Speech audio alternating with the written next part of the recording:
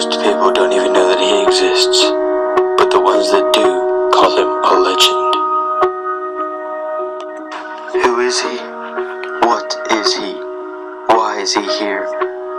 Nobody really knows. We've heard all the rumors, all the stories, all the eyewitness accounts, but never have we had actual proof.